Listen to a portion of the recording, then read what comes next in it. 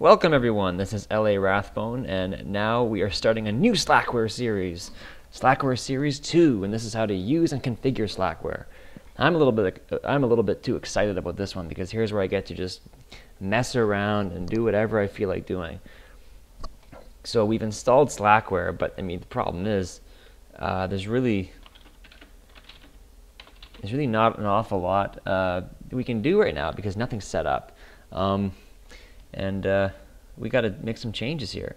So first things first, um, let's just make sure that we have internet connectivity because that's pretty important.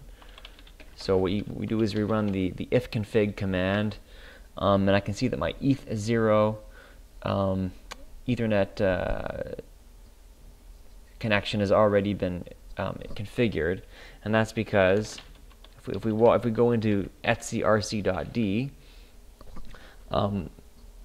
you'll note that we have uh, um, console colors. The green means that, by default, green means that um, the file is executable. So the inet1 is the one that, that ran um, to give us internet connectivity. So if we take a look at rc.inet1.conf, that's the configuration file for uh, the internet. I'm going to use the Vim editor to take a look at it. And I like Vim better than the default VI that they have on there, which is Elvis. So I'm going to use it. You, you could create an alias to make VI take you to Vim or delete the symbolic link and change it around. But I'm just going to leave it as is, the Slackware defaults, and just run Vim each time. I'm probably going to forget and type VI, um, but whatever. So you'll note that all the configuration files that come with Slackware are really nicely documented, which is really, really helpful because um, you do have to be able to poke around in um, uh, text files to configure your Slackware system. So in, in Vim or VI, uh, H takes you left, uh, L takes you right, J takes you down with your cursor, and K takes you up takes you can also use the regular arrow keys but using the the H J K and L is a lot faster because you don't have to remove your fingers from the home row. So I'm just going to use that. I'm just used to it. Um, the reason why it was auto configured was because what they do is this is part of the setup program in our installation but use DHCP for our ETH0 device was set to yes. And since my card is just a standard ethernet card it's not a wireless that needs any drivers or anything it was just able to give me the internet so if I quit that, colon Q, enter, um, that's really all we need to do with Vim for now. And I'm just going to make sure the internet does work. I'm going to use ping c3 google.com. If you didn't put the C3 in there, it would just ping until you killed it with control C. This is just going to ping Google three times. And we can see that it worked. We, we sent and received packets to uh, google.com. So we know we have the internet running. So that's a good uh, base thing to have. But So if we take a, look at uh, the kernel that we're running right now, we're running 3.2.29, which is the default that comes with Slackware 14.0. That's fine. But if we go to our boot directory, hit ls there, you'll note that vmlinuz is a symbolic link. And I, think, I think when they put the at symbol at the end of files like that and highlight it in that kind of teal color, it means that it is um, a symbolic link. And let's take a look at what it's linked to. It's linked to the huge kernel. Now that's not something that we want to leave by default because the huge kernel has everything compiled into the kernel um, and does not leave anything as a module. And the problem with that is that if something goes wrong with one of your drivers, you can't just then go ahead and remove the module and add it back in. You have to, my understanding is you'd have to reboot the whole system, which is not ideal. But let's see why um, that setting is the way it is. If we look at lilo.conf, what they do is, scroll down, oh, I used VI, see, Vim, we can get some nice highlighting there. Um, there's lots of default settings here, I'm not going to worry about that, but if you scroll down, I'm just using page up and page down here. Here is where we configure our actual Linux partition. Our image, by default, takes you to boot VM Linux, and that is the huge kernel like we saw. So let's let's go ahead and change that. That should be the first thing we, we do when configuring our Slackware system. So let's um, we need to relink the VM Linux to the generic 3.2.29 kernel. Again, most of you are going to want to link it to the SMP. Um, but I'm, I'm, running in a virtual machine. Um, PAE emulation is not enabled by default, um, so I'm not going to I'm not going to use that. I'm going to use the generic one. So I, I forget how to use the I forget how to link things. So I'm going to look the, at the man page for the ln command. Um, now I remember. Okay, I wasn't sure. I, I, always forget if you have to do the, the link name first or the target name first. You do the target name first and then the link name. So what we want to do is ln. Let's let's look at our files again. ln-s because we want to make a symbolic link and not a hard link. You almost never want to make a hard link ever when when using your system. It's just not generally done. And we want to vm linux-generic 32.29, and our link is going to be VM Linux, and that will overwrite the old one. Ah, we can't do that because the file exists. So what we do is SF to force it. And now if we take a look at VM, you see sometimes I forget things, right? We're not perfect. I forget commands sometimes. I forget different options, and um, you know this is why it's good to be able to know how to find the answer to to your question if you don't know. So now we see that it's linked to the generic. But the problem is, because everything is loaded in as a module, or almost everything anyway, um, if we tried to just boot our system, reboot it now, we probably wouldn't have much luck because um, the, the module, for instance, for our file system type, ext4, may not be built into the kernel. It may be built in as a module. So if there's nothing telling Slackware, or the kernel, rather, to load in that module, then we won't be able to start our system. The way you get around that is by running an initrd, or an initial RAM disk. Now let's go ahead and demonstrate how to do that. There's a command called make initrd that, that allows you to do that. Um, but it's a kind of a complicated command. It has lots of different options. Um, and uh, I'm sure there's documentation, including the man page, on how to create an initial RAM disk that's very customized to your needs. But 99% of the time, this is all you need to do. If you take a look at user share make initrd, we have a few files in there. And one of them is an executable called make initrd command generator.sh.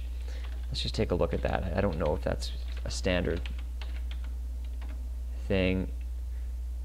Yeah, it's created by the Slackware team, as you can see by the by the copyright information there.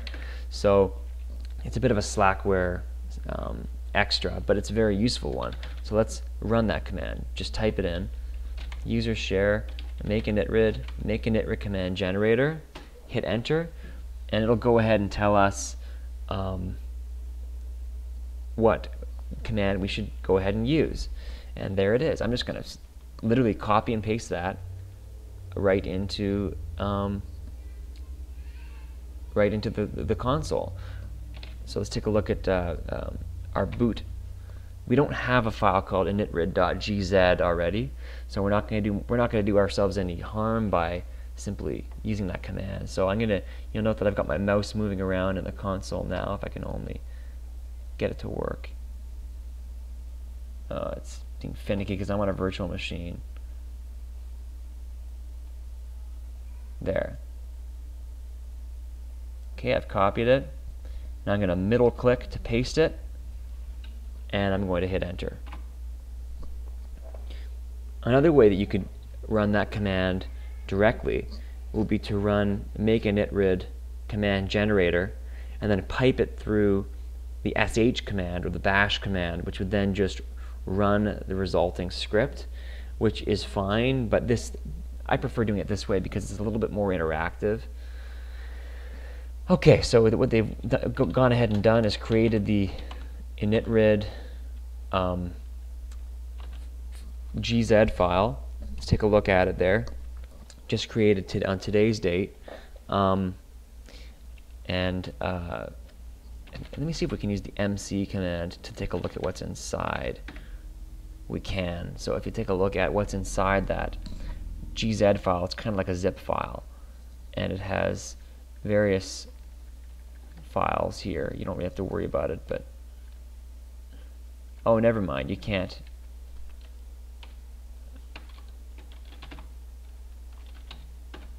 I was just being silly there, actually. You can't, it's not a it's not a folder that's been compressed, it's a file that's been compressed, so that, that that's not going to work. Ignore that last little bit there.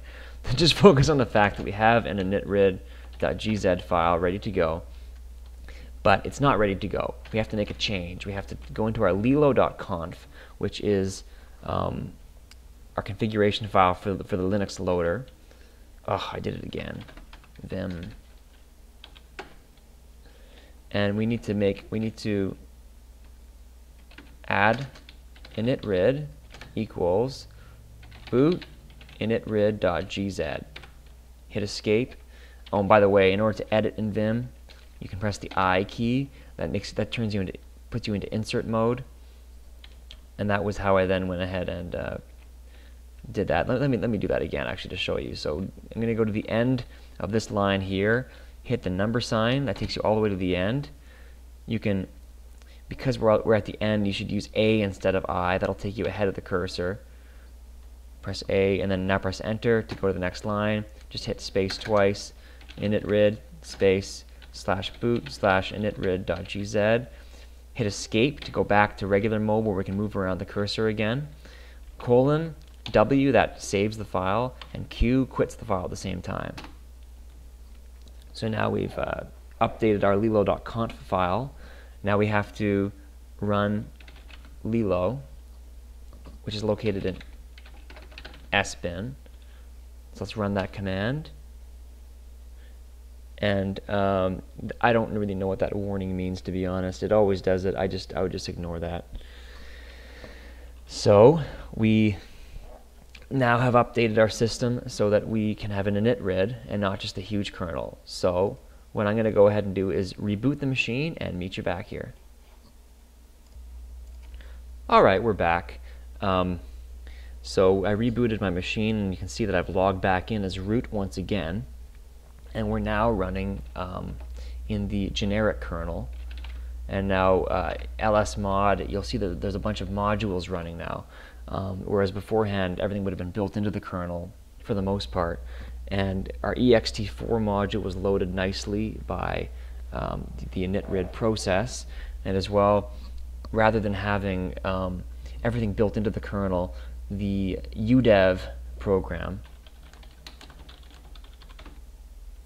went ahead and loaded our modules for us automatically. So we've got our Slackware system configured to use a proper kernel now, so that we're not using using the the huge kernel.